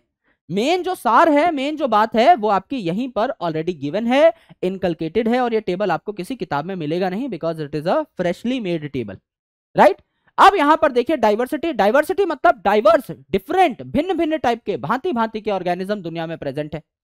तो अगर आप अपने एरिया ऑफ़ रिसर्च को बढ़ाएँगे तो क्या नंबर ऑफ़ लिविंग ऑर्गेनिजम्स बढ़ जाएँगे? बिल्कुल बढ़ जाएँगे सर मैं अपने गाँव में अगर रिसर्च कर रहा हूँ तो मेरे गाँव में मुझे सौ अलग अलग तरीके के जीव जंतु देखने को मिले। मैं अगर एरिया बढ़ा दूँगा, मैं आसपास के दस गाँव में रिसर्च करूँगा तो हो सकता है मुझे सौ की जगह पाँच सौ अलग अलग टाइप के लिविंग ऑर्गेनिजम्स देखने को मिले। बिल्कुल मिलेंगे। मेरे गाँव में सब कुछ थोड़ी है, मैं बाहर जाऊँगा, कुछ तो नया मिलेगा मुझे। तो जब मैं एरिया ऑफ़ रिसर्च बढ़ाता हूँ तो मुझे नंबर ऑफ़ ऑर्गेनिज्म ज़्यादा देखने को मिलते हैं। और अगर मैं किसी नए एरिया में जाता हूँ तो तो मुझे नए ऑर्गेनिज्म मिलेंगे ही। लेकिन मैं अपने एरिया में, पुराने एरिया में भी रिसर्च करता हूँ तो भी मुझे नए ऑर्गेनिजम्स मिल सकते हैं। समझ लीजिए, मैंने गाँव में रिसर्च की और मुझे मिले वहाँ पर सौ स्पीसीज फिर मैं शहर में चला गया रिसर्च करने। फिर मैं पाँच साल बाद गाँव लौट करके आया तो भी मुझे कुछ नए स्पीसीज मिलेंगे। फ़र्स्ट पॉइंट ये कि ज़रूरी नहीं मैंने पिछली बार सारे ऑर्गेनिजम्स को ढूंढ लिया हो। आदमी हूँ, गलती होती है। हो सकता है 120 स्पीसीज हो, मैं सौ ही देख पाया हूँ। तो 20 तो मुझे और नहीं मिल जाएँगी। नई स्पीसीज मिलने के चांसेस है। और दुनिया में नई नई स्पीसीज बनती भी रहती हैं स्पीशिएशन होती भी रहती है तो चाहे आप किसी नए इलाके में जाएँ, चाहे आप किसी पुराने इलाके में जाएँ, आपको हमेशा नई नई स्पीसीज मिलती रहेंगी। तो दुनिया में अभी तक हम कितनी अलग अलग टाइप की स्पीसीज को ढूंढ चुके हैं? 1.7 टू 1.8 मिलियन अलग अलग टाइप की स्पीसीज को ढूंढ चुके हैं, यानी 17 से 18 लाख डिफरेंट टाइप के ऑर्गेनिजम्स इस अर्थ पे रहते हैं। जिसमें से आप मान के चलिए 1.2 मिलियन यानी 12 लाख टाइप के तो सिर्फ़ और सिर्फ़ एनिमल्स ही हैं और लगभग 5 लाख अलग अलग टाइप के प्लांट्स हैं। ये सबसे ज़्यादा डाइवर्स ग्रुप्स हैं। दुनिया में सबसे ज़्यादा प्लांट्स और एनिमल्स ही पाए जाते हैं। तो इतने सारे ऑर्गेनिजम्स को हम ढूंढ चुके हैं। राइट अब इतने सारे ऑर्गेनिज्म हैं तो इनका नामकरण भी करना पड़ेगा। दो इंडिविजुअल का सेम नाम रख दिया तो कंफ्यूज हो जाएँगे कि किसके बारे में बात हो रही है। है ना? तो यहाँ पर हर ऑर्गेनिज्म का नाम रखना पड़ेगा। इट इज़ वेरी इंपॉर्टेंट कि हम बायोलॉजिकल नाम या साइंटिफिक नाम रखें, क्योंकि लोकल नाम या वर्नेकुलर नाम जो है, ये कंफ्यूजन क्रिएट करते हैं। फॉर एग्ज़ाम्पल एक प्लांट होता है जिसको कैलोट्रोपिस कहा जाता है। अब हरियाणा में उसको आंकड़ा कहा जाता है, राजस्थान में उसको आग कहा जाता है और मध्य प्रदेश में उसको मदार कहा जाता है। अब मैं मध्य प्रदेश में जाके कहूँ कि मुझे आँख दिखा दो तो आँख दिखा देगा। उसको समझ में नहीं आएगा कि मैं क्या पूछना चाह रहा हूँ। सिमिलरली अगर मैं हरियाणा में आकर के कह दूँ कि मुझे मदार दिखा दो तो बहुत दिक्कत हो जाएगी दोस्त, है ना? तो अल्टीमेटली हमको आइडिया ही नहीं लगेगा कि किस चीज़ के बारे में पूछा जा रहा है। Therefore there is a standard name which is given Calotropis नाम लो, दुनिया में हर जगह काम चल जाएगा। अब नीम आप बोलोगे, भारत में तो चल जाएगा। बाहर जाके, ऑस्ट्रेलिया में जाके नीम बोलोगे, नहीं पता लगेगा। तो स्टैंडर्ड नाम लेना पड़ेगा अजैडी रेक्टा बोलना पड़ेगा, तब जाके दुनिया को पता लगेगा नीम की बात हो रही है। Right so there are some names which should be given biological नाम आपको देने चाहिए। तो बायोलॉजिकल नाम देने के लिए अलग अलग एजेंसीज बनाई हुई हैं, जैसे बॉटनी के नाम देने के लिए, यानी प्लांट के नाम देने के लिए आईसीबीएन नाम की एजेंसी है international code for botanical nomen botanical nomen plant के नॉमन के लिए। और एनिमल के नॉमन के लिए ICZN international code of zoological नॉमन animal के नामकरण के लिए आईसीजेडएन आपने एक एजेंसी तैयार की, जिसने कुछ रूल्स सेट किए हैं। मेन जो रूल्स हम मानते हैं, वो मानते हैं कैरोलस लीनियस साहब के। कैरोलस लीनियस साहब वॉज़ अ ग्रेट साइंटिस्ट क्योंकि सबसे पहले इन्होंने अपने रूल्स का पालन खुद किया। कैरोलस लीनियस साहब का असली नाम था कार्ल वॉन लिने लेकिन इनके नाम में खुद तीन पार्ट्स थे कार्ल वॉन और लिने तो इन्होंने क्या किया? अपना नाम सबसे पहले चेंज किया, अपने नाम को कैरोलस लीनियस कर दिया, क्योंकि ये दुनिया को कहते थे कि आपके नाम में सिर्फ़ दो कंपोनेंट होने चाहिए, एक जीनस एक स्पीसीज लेकिन खुद के नाम में तीन कंपोनेंट लेकर बैठे हुए थे। तो एज एन आइडियल साइंटिस्ट इन्होंने सबसे पहले खुद का नाम चेंज किया और अपना नाम कार्ल वॉन लिने से कैरोलस लीनियस कर दिया। राइट यहाँ पर देखिए एक नाम जो है उसके दो कंपोनेंट होंगे। पहला कंपोनेंट होगा जेनेरिक नेम या जीनस दूसरा होगा स्पेसिफिक एपिथेट या स्पीसीज फॉर एग्जांपल हमारा साइंटिफिक नाम क्या है? होमोसेपियंस तो होमो क्या है? हमारा जीनस है। और सेपियंस क्या है? हमारा बाद में आ रही है सेकेंड नाम का हिस्सा है तो वो स्पीसीज है। तो होमो जो है इसका फ़र्स्ट लेटर कैपिटल होगा। और सेपियंस जो है इसका पहला लेटर स्मॉल होगा, यानी पूरे नाम में जीनस और स्पीसीज में एक ही लेटर आपका कैपिटल होता है। है ना? और ये दोनों जीनस और स्पीसीज ये दोनों नाम जो है आपके लैटिन भाषा से लिए जाएँगे, क्योंकि लैटिन भाषा अब डेड हो चुकी है। तो इसमें अगले सौ साल भी कोई बदलाव नहीं होगा, ना कोई शब्द ऐड होगा, ना कोई शब्द डिलीट होगा। तो आज मैं कोई रिसर्च पेपर अगर लिख रहा हूँ, आज मैं कोई नाम अगर दे रहा हूँ किसी ऑर्गेनिज्म को तो सौ साल बाद भी उसका सेम ही मतलब रहेगा। क्योंकि कुछ भाषाएँ ऐसी हैं जो डायनेमिक हैं, जिनमें शब्दों के प्रोनाउंसिएशन शब्दों के मतलब कोई नया वर्ड आ जाना, कोई पुराना वर्ड डिलीट हो जाना, ये होता रहता है। Latin is a dead language इसीलिए साइंटिस्ट इसी लैंग्वेज को यूज़ करते हैं, क्योंकि इसमें चेंजेस होने के चांसेस नहीं है। तो लैटिन भाषा को इंडिकेट करने के लिए जब भी आप कोई साइंटिफिक नाम लिखेंगे टाइप करेंगे उस नाम को कंप्यूटर पे तो आपका वो नाम जो है टेढ़े अक्षरों में होगा, मजनू भाई की तरह टेढ़ा होगा वो अक्षर इटैलिसाइज अक्षर होगा ऐसे टेढ़ा। राइट और अगर आप हाथ से नाम लिख रहे हैं तो आप उन्हें सेपरेटली अंडरलाइन करेंगे जीनस को और स्पीसीज को to show their Latin origin for example यहाँ पर देखिए। मैंजीफेरा इंडिका, यानी मैंगो का नाम मैंने हाथ से लिखा है। तो जीनस को सेपरेटली अंडरलाइन किया स्पीसीज को सेपरेटली अंडरलाइन किया, और एंड में आता है नाम ऑथर का एब्रीवेटेड फॉर्मेट में तो लीनियस का नाम लिन करके लिखा और रोमन में लिखा। यानी नॉर्मल इंग्लिश में लिखा, क्योंकि Linnaeus is an English word अब मैं कोई चीज़ कल को ढूंढ दू, भैया कॉकरोच मैंने ढूंढा। तो इसका नाम मैं रख रहा हूँ क्या? पेरी प्लेनेटा विपुनाना और आगे मैंने लिख दिया विपू। तो विपू इज़ माई एब्रीवेटेड नेम है ना? और मेरा नाम जो विपिन है वो तो हिंदी का शब्द है। विपिन का अर्थ होता है जंगल या फिर आपका वन। तो ultimately this is a Hindi name तो इसको मैं लैटिन में कन्वर्ट थोड़ी करूँगा। मेरा नाम जैसा है मैं वैसा ही लिखूँगा।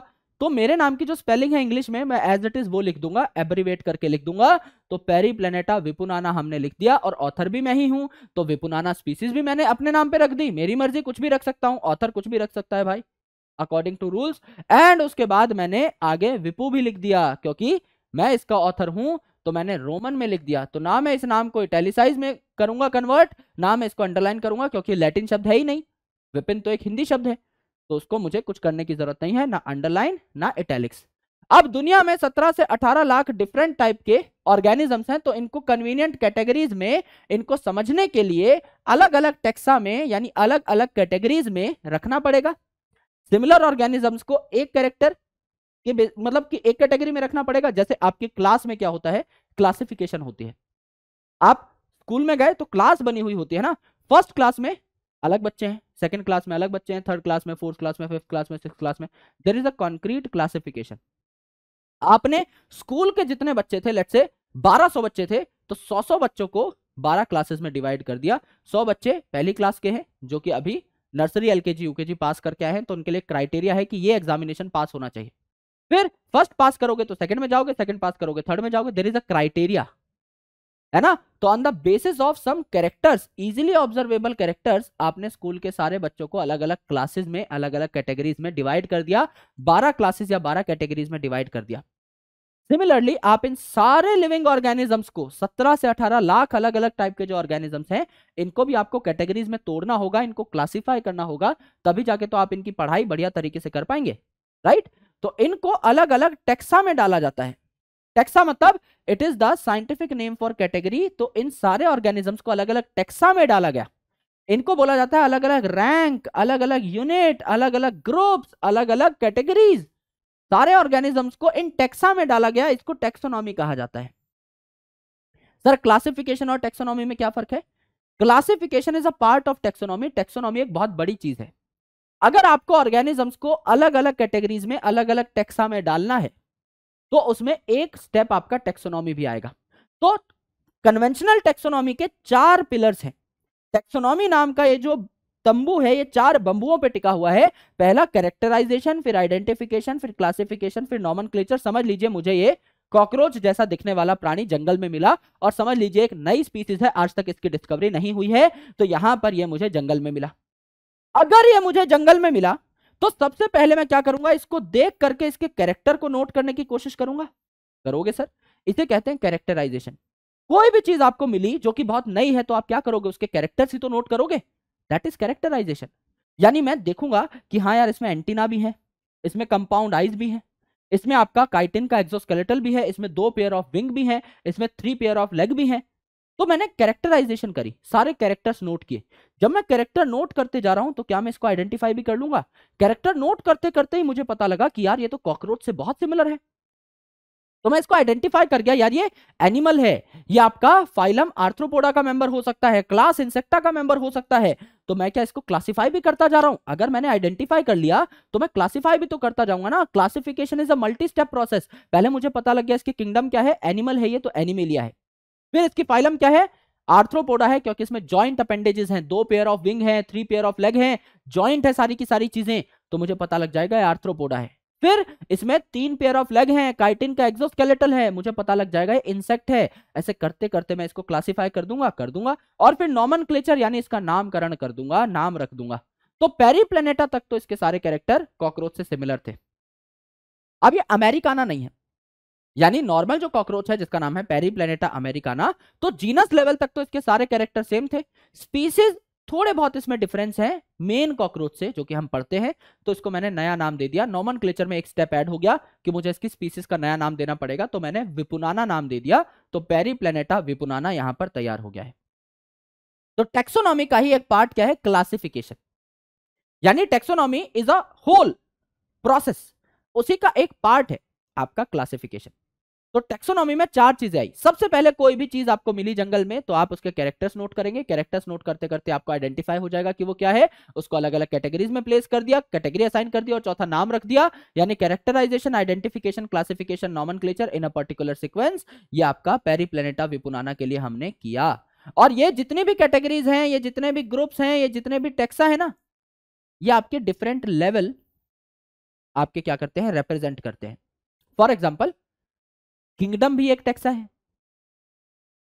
फाइलम भी एक टेक्सा है, क्लास भी एक टैक्सा है, फैमिली भी एक टेक्सा है, स्पीसीज भी एक टेक्सा है, सारी कैटेगरी ही तो है, कैटेगरी का साइंटिफिक नाम टेक्सा है, लेकिन किंगडम सबसे हायर लेवल की टैक्सा है, ऑर्डर आपके बीच की टैक्सा है, स्पीसीज सबसे लोअर लेवल की, सबसे सिंपल लेवल की टेक्सा है, यानी है तो सारी कैटेगरी ही, लेकिन डिफरेंट लेवल्स पे, फॉर एग्ज़ाम्पल अगर मैं ह्यूमन की बात करूँ तो मैं ह्यूमन में अगर बोलता हूँ सेपियन तो सेपियन भी एक टेक्सा है कैटेगरी है, लेकिन स्पीसीज लेवल की लोअर लेवल की।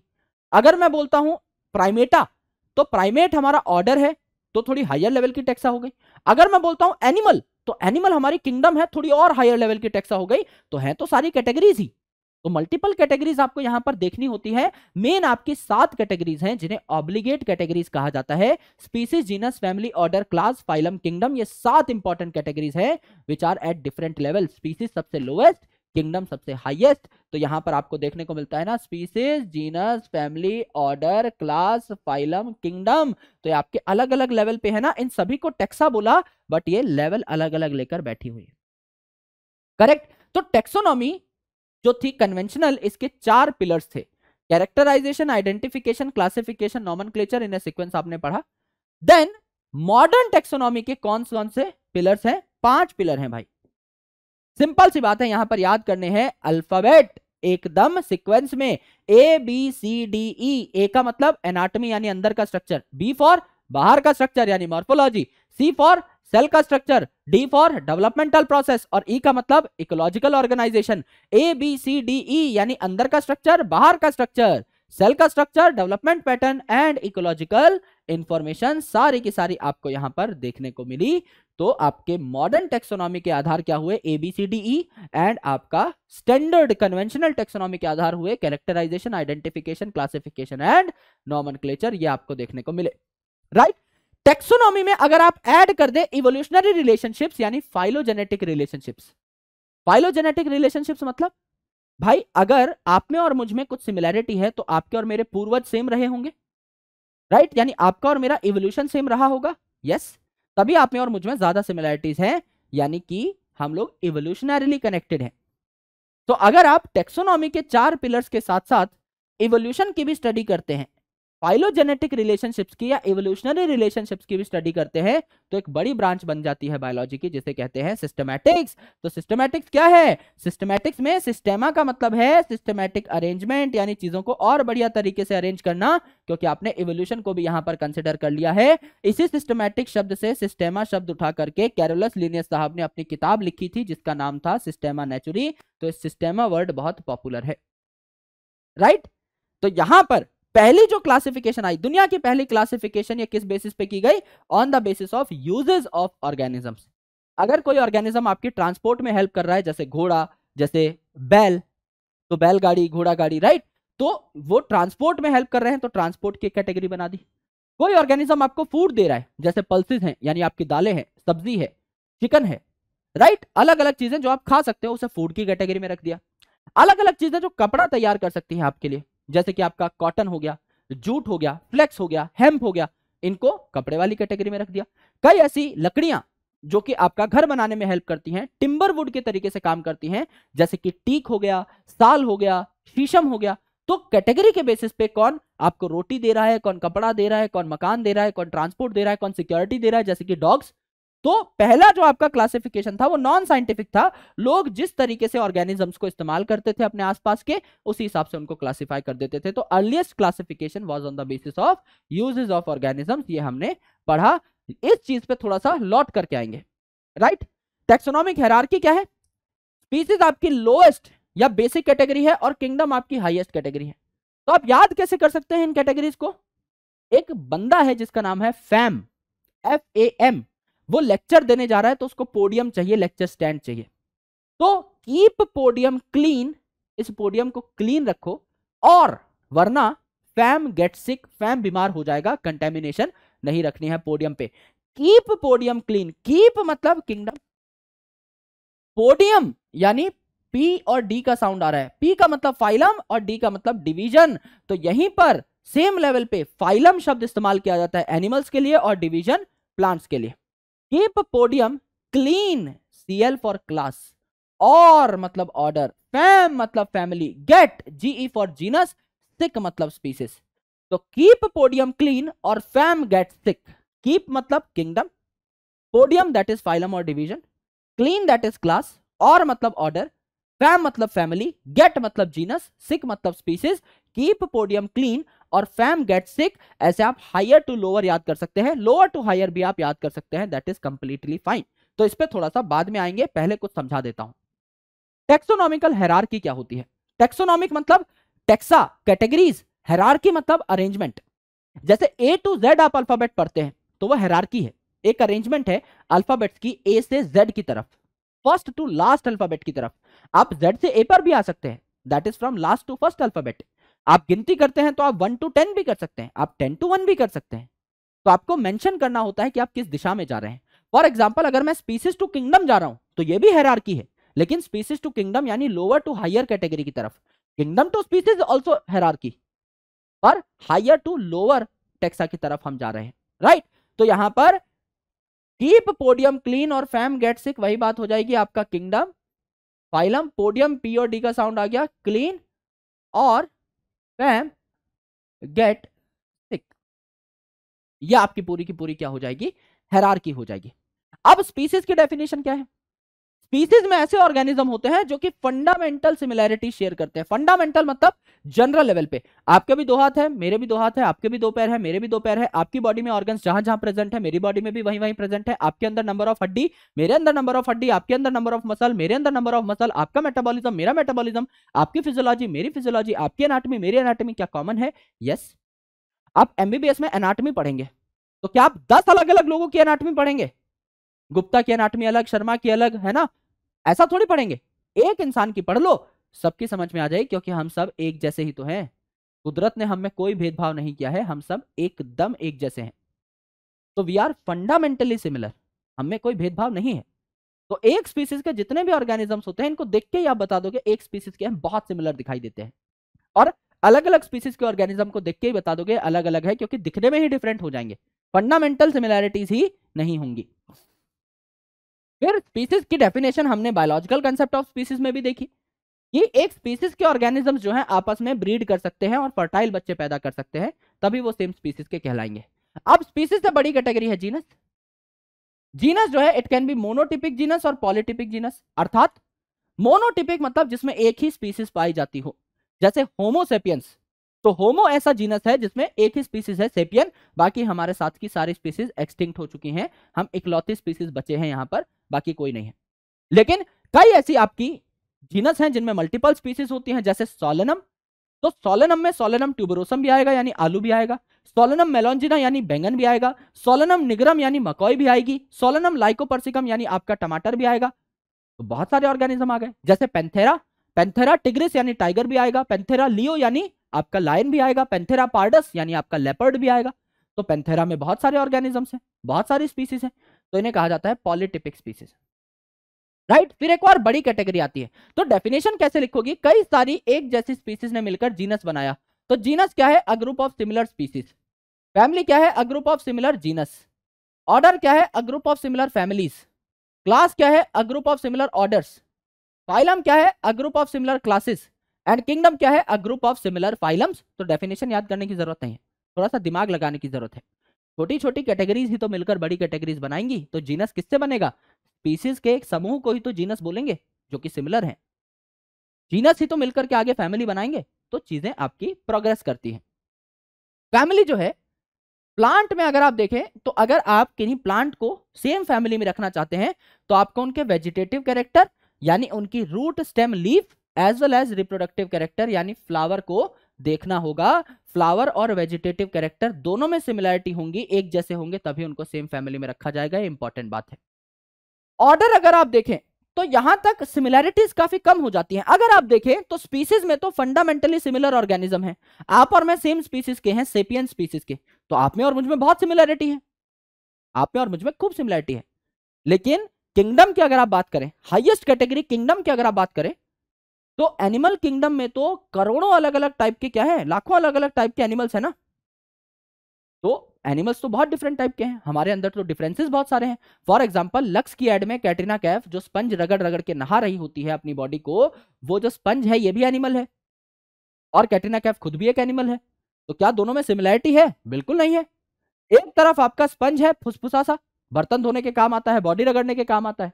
और दूसरी तरफ़, खुद हम लोग इतने कॉम्प्लेक्स तो ज़ाहिर सी बात है मेरे दोस्त, यहाँ पर किंगडम में अलग अलग टाइप के ऑर्गेनिजम्स मिलेंगे वेरिएशंस बढ़ती जाएँगी डिफरेंसेस बढ़ते जाएँगे।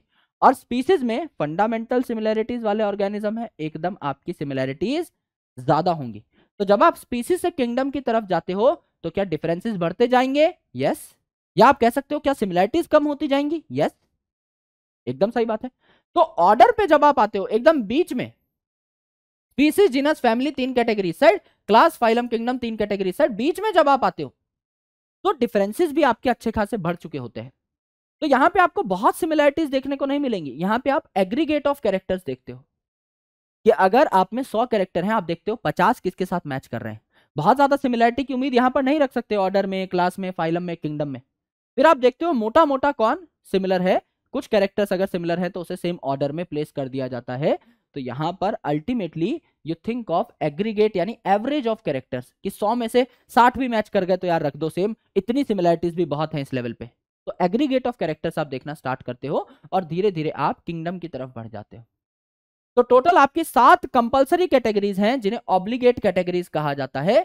Species genus family order class phylum kingdom सात ऑब्लिगेट कैटेगरीज अब एनसीआरटी के हिसाब से इन ऑब्लिगेट कैटेगरीज को एक बार पढ़ लिया जाए। मैंने आपको बताया स्पीसीज में सिमिलैरिटीज मैक्सिमम किंगडम में सिमिलैरिटीज मिनिमम तो जब आप स्पीसीज से किंगडम की तरफ़ जाएँगे तो क्या आपके number of common characters decrease होते जाएँगे? क्या नंबर ऑफ़ सिमिलैरिटीज कम होती जाएँगी? Yes yes? और जब आप किंगडम से स्पीसीज की तरफ़ आएँगे एरो नीचे की साइड है तो क्या नंबर ऑफ़ सिमिलैरिटीज बढ़ती जाएँगी? किंगडम से स्पीसीज की तरफ़ आओगे तो सिमिलैरिटी मैक्सिमम हो जाएँगी ना? तो आपके इंक्रीज होते जाएँगे सिमिलर कैरेक्टर्स एकदम सही बात है। अब एनसीआरटी में क्या कहा गया है, आराम से देखिए। जो आपका सोलनम है, ये जीनस जो है, ये पॉलिटिपिक था, मैंने आपको बताया। इसमें आपका सोलनम ट्यूबरोसम यानी आलू भी होता है सोलनम मेलोंजिना यानी बैंगन भी होता है सोलनम निग्रम यानी मकोई भी होती है सोलनम लाइकोपर्सिकम यानी आपका टमाटर भी होता है। तो ये सारे के सारे स्पीसीज कौन से जीनस में पाए जा रहे हैं? सोलनम में पाए जा रहे हैं। फिर ये जो सोलेनम है, दोस्ती कर लेगा पेटूनिया और दतूरा से। एसपीडी, पावर रेंजर एसपीडी की टीम बना लेगा। एसपीडी, सोलेनम, पेटूनिया, दतूरा, ये तीनों मिलकर के सेम फैमिली के मेंबर हो जाते हैं, जिनको क्या कहा जाता है? सोलेनेसी। सोलेनम, सोलेनेसी सीधा सीधा याद हो जाएगा, आलू बैंगन की फैमिली है। फिर आपका पोलिमोनियल्स, सोलेनेसी और कन्वलवेसी के मर्जर से बन जाएगा। यानी दो फैमिलीज़ है सोलेनेसी कन्वलवेसी फैमिली के एंड में प्लांट में हमेशा एसी आएगा। गर्मी बड़ी लगती है, इसको एसी की ज़रूरत है। Solanaceae convolvulaceae malvaceae poaceae asteraceae fabaceae leguminosae ये सारी फैमिलीज़ आपके सिलेबस में है। सबके एंड में एसी आता है तो तुक्के की बात नहीं है। कभी भी एंड में एसी मिल जाए नाम के तो समझ जाएगा फैमिली की बात हो रही है। तो सोलेनेसी और कन्वलवेसी, ये पीसीएस का एग्ज़ाम देने चले जाएँगे। पी मतलब पोलिमोनियल्स, इसमें सोलेनेसी और कन्वलवेसी पाए जाते हैं।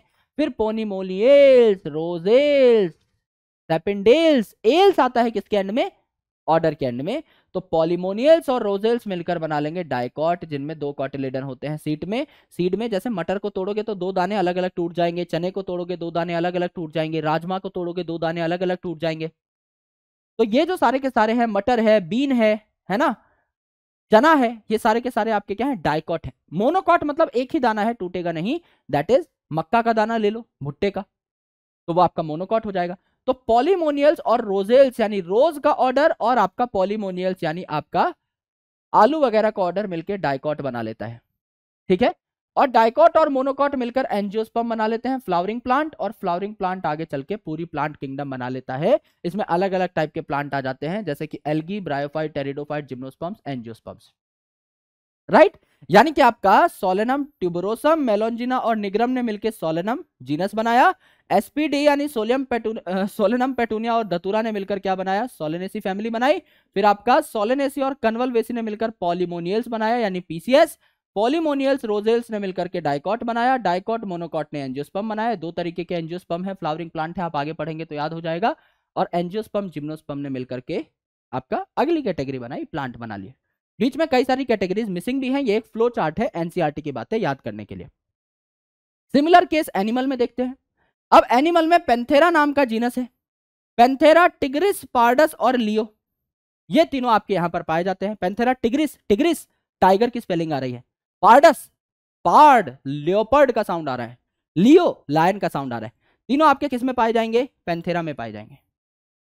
फिर आपका पेंथेरा, जो शेर है, वो बिल्ली से रिलेटेड है तो इन दोनों का जो जीनस है, पेंथेरा और फेलिस, ये मिलकर के फैमिली बना लेगा। फेलिडी, यानी बिल्ली, और शेर जो है सेम फैमिली के हैं, ये बहुत कनेक्टेड है। इसीलिए कई शेरों को बिग कैट भी कहा जाता है, अगर आपने सुना हो तो पेंथर्स वगैरह को राइट और कुत्ता और बिल्ली जो है, यानी कैनेडी और फेलिडी जो है कैनेडी मतलब सी फॉर कैट में कंफ्यूज मत होइएगा, ये डॉग की फैमिली है और फेलिडी कैट की फैमिली है, यहीं पर आ गई थी ना फेलिस। तो फेलिडी कैट, कैनेडी डॉग, ये मिलकर के कार्निवोरा बना लेते हैं, कार्निवोर्स होते हैं यूजुअली है ना? एंड आपका प्राइमेटा हमारा ऑर्डर मिलकर के बना लेता है मेमेलिया हम मैमल्स हैं, है ना? क्योंकि हमारे मेमोरी ग्लैंड एक्टिवेटेड होते हैं in case of females right then mammalia amphibia reptilia आपके एव्स है ना? आपकी मछलियाँ ये मिल करके कॉडेटा बना लेती हैं और कॉडेटा और बाकी सारे एनिमल के फाइलम मिल करके एनिमल किंगडम बना लेंगे। जैसे कि आपका Porifera Coelenterata Ctenophora Platyhelminthes केलमिंथेनेलिडा आर्थ्रोपोडा, मोलस्का इकानोडर्मेटा हेमिकॉडेटा, कॉडेटा सब मिलके आपका एनिमल बना लेंगे। तो ये सारी बातें आपको आगे मिल जाएँगी एनिमल किंगडम में। सारी बातें।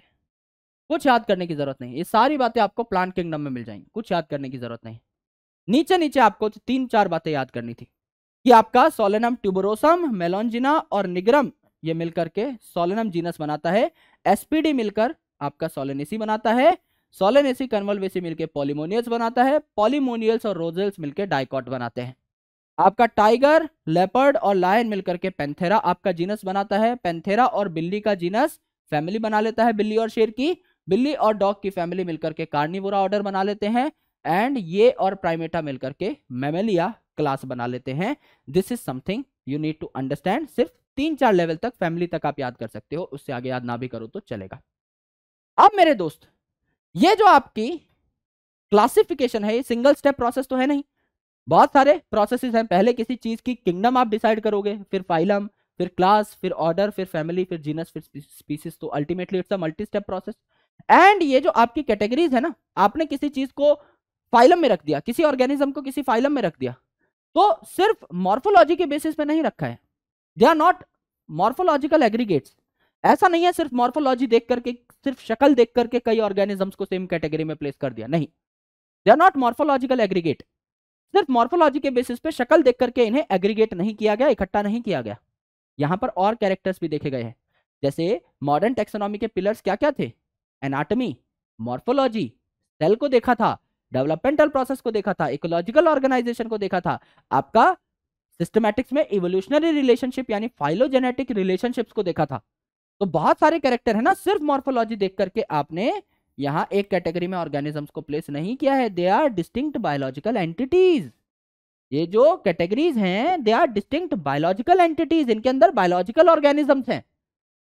राइट? ये कैटेगरीज जो है, बहुत प्यार से बनाई हुई हैं, सोच समझ के बनाई हुई हैं। सिर्फ़ मॉर्फोलॉजी देख करके किसी भी ऑर्गेनिज्म को किसी कैटेगरी में प्लेस नहीं किया जाता और कैरेक्टर्स भी देखे जाते हैं। तो यहाँ पर आपको अब एक चार्ट दिया हुआ है। चार चीज़ें हैं, दो एनिमल्स दो प्लांट्स जिनको आपको याद करना होता है, इनकी पूरी हैरारकी को आपको याद करना होता है। तो सबसे पहले अगर आप मैन का यानी ह्यूमन का याद कर गए तो हाउस फ्लाई का आपको साथ साथ याद हो जाएगा। एक चीज़ आपको याद करनी पड़ेगी एक्स्ट्रा जो मैं आपको सिखा दूँगा। ह्यूमन का अगर आप देखें तो ह्यूमन का नाम होता है होमोसेपियंस तो हमारा जीनस है होमो स्पीसीज है सेपियन अगर हमारा जीनस है होमो तो फैमिली क्या हो गई? होमिनिडी होमिनिडी हो गई। होमो से होमिनिडी। फैमिली के बाद ऑर्डर क्या है हमारा? प्राइमेटा हम लोग प्राइमेट है। मेंस्ट्रुअल साइकिल चलती है हमारे अंदर प्राइमेट है हम लोग, एकदम सही बात है। क्लास मेमेलिया मेमोरी ग्लैंड हमारे अंदर होते हैं, बिल्कुल होते हैं। देन उसके बाद फाइलम कॉर्डेटा नोटोकॉर्ड हमारे अंदर होती है, बिल्कुल। और किंगडम क्या हो जाएगी? एनिमेलिया हम लोग एनिमल हैं ही। सेम आपको लिखना है किसके लिए? आपका हाउस फ्लाई के लिए हाउस फ्लाई यानी मस्का डोमेस्टिका तो आपका मस्का डोमेस्टिका जीनस क्या हो जाएगा? मस्का स्पीसीज डोमेस्टिका घर में पाई जाती है ना डोमेस्टिक है। तो मस्का होमो से होमिनिडी है फैमिली तो मस्का से क्या हो गई? मस्किडी हो गई हो गई सर ऑर्डर आपको सिर्फ़ याद करना पड़ेगा डिप्टेरा है इसका। हमारा प्राइमेटा इसका डिप्टेरा अब अगर भैया ये मक्खी इंसेक्ट है तो क्लास इंसेक्टा और इंसेक्ट तो आर्थ्रोपोड्स होते हैं तो आपका फाइलम आर्थ्रोपोडा और मक्खी एक एनिमल है, ये हमें पता है तो किंगडम एनिमिलिया यानी सिर्फ़ हमको ऑर्डर डिप्टेरा याद करना पड़ा और कुछ भी याद नहीं करना पड़ा, बाकी सारी चीज़ें हमने रिलेटिवली निकाल ली। है ना? फैमिली अगर होमो से होमिनिटी बन रही है तो मस्का से मस्किडी बन जाएगी। बाकी सारी चीज़ें आपको पता ही है कि मक्खी एक एनिमल है आर्थ्रोपोड है इंसेक्ट है, नाम है मस्का डोमेस्टिका तो जीनस और स्पीसीज मस्का और डोमेस्टिका आपको पता लग ही गया, मस्का से मस्किडी फैमिली हो गई एंड ऑर्डर आपका डिप्टेरा हो ही गया, हमारा ऑर्डर प्राइमेटा हो गया तो इसको याद करने में कोई दिक्कत नहीं होनी चाहिए। अब बात करते हैं प्लांट की तो प्लांट में अगर आप मैंगो को याद कर लें तो वीट आपको याद हो जाएगा। मैंगो के लिए ट्रिक है पैड सेमी। मोहम्मद शमी जो है, शमी जो है, इन्होंने पैड पहन लिया है बैटिंग करने के लिए। अब बॉलिंग नहीं, बैटिंग करेंगे हमारे शमी भैया। तो पैड शमी का मतलब क्या है? पी का मतलब है किंगडम प्लांटे। तो किंगडम प्लांटे का मेंबर है आपका मैंगो, सबको पता है मैंगो प्लांट है। ए का मतलब है एंजियोस्पम फ्लावरिंग प्लांट है। फ्लावर और फ्रूट, फल और फूल सिर्फ़ एंजियोस्पम्स में ही देखने को मिलते हैं। तो ज़ाहिर सी बात है एंजियोस्पम ही होगा, क्योंकि उसका फ्रूट हम खाते हैं। टी का मतलब क्लास है डाइकॉट जो मैंगो है, इसमें दो कॉटिलिडन पाए जाते हैं। गुठली से कंफ्यूज मत होइए, उसको खोल के देखेंगे, अंदर दो कॉटिलिडन मिलेंगे। एस का मतलब सेपिंडेल्स ऑर्डर है एंड में एल्स आ गया। जैसा भी देखा था रोजेल्स पोएल्स राइट है ना? तो यहाँ पर क्या आ गया? सेपिंडेल्स आ गया। ए का मतलब एनाकार्डियसी एसी लग गया है एंड में। एसी की तेसी हो जाएगी अगर ये भूल गए तो है ना? एसी लग गया है एंड में एनाकार्डियसी और एम आई का मतलब क्या है? मुंबई इंडियंस नहीं मैंजीफेरा इंडिका यानी ये तो इसका नाम ही हो गया ना भैया जीनस स्पीसीज हो गई मैंजीफेरा इंडिका यानी अगर आप देखें P A D S A M I P का मतलब किंगडम प्लांट पहले से खत्म है बात, हमें पता है। ए का मतलब एंजियोस्पर्म पहले से पता है फ्रूट खाते हैं इसका हम। डी का मतलब डायकॉट अब याद हो गया। एस ए एम आई का मतलब है सेपेंडेल्स एनाकार्डियसी मैंजीफेरा और इंडिका अब यहाँ पर क्या करना है? वीट में।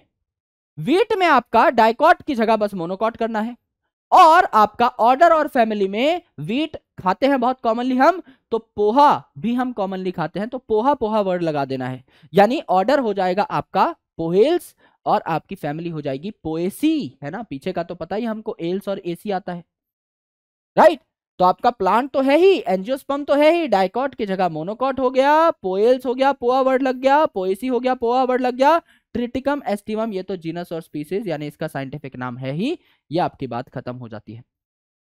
This is the complete discussion of your chapter, The Living World, and these are questions of last eight years which are completely highlighted with their answers, जो कि आप एक बार रिव्यू करिएगा खुद से ये आपका होमवर्क है बिकॉज़ आपकी सारी की सारी बातें मैंने टेक्स्ट के अंदर भी हाईलाइट कर दी हैं। दीज आर एनोटेशंस ये सारी की सारी चीज़ें एनोटेटेड है। अगर मैं यहाँ पर ये हरे हरे मार्क कर रहा हूँ कलर येलो का मतलब है इंपॉर्टेंट पॉइंट और हरे का मतलब है पीवाई क्यू यानी ये पहले ही पिछले सालों में आ चुके हैं। यानी ये जो नोट्स हैं, ये कंप्लीटली एनोटेटेड हैं। कुछ भी पॉइंट छूटा नहीं है।